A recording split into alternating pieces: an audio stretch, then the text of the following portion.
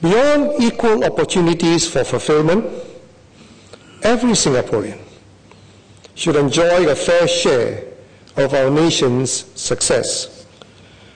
We will strengthen our social safety nets, not only to give all Singaporeans peace of mind, but also to share the fruits of progress more widely, especially with the low income and vulnerable groups.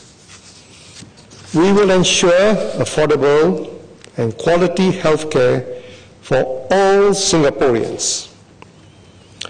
We have enhanced the Community Health Assist Scheme, CHAS, expanded the use of MediSave, and increased subsidies for outpatient care.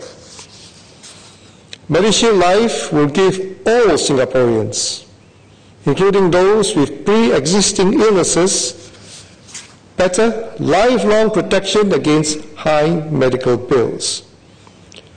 The MediShield Life Review Committee is finalizing the details of the scheme.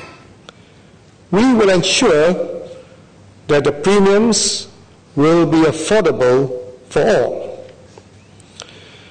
We will pay particular attention to vulnerable Singaporeans, including low-wage workers and our elderly.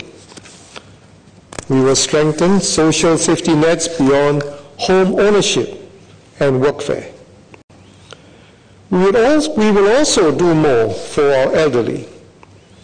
Singaporeans are living longer.